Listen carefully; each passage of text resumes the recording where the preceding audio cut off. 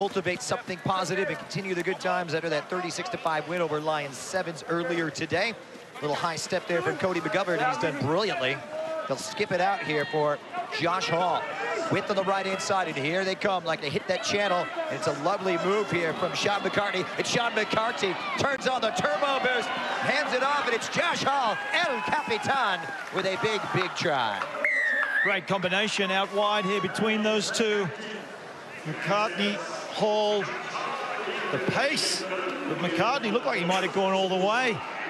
All of a sudden just decided, I might be in for a chance here. Front on view of the action. Nice little switch play, and then back out McCartney. And then it looks like he could have gone all the way. Didn't back his own pace, but he did back the support player of the skipper, Josh Hall. So up we go, and a bright beginning here. Things looking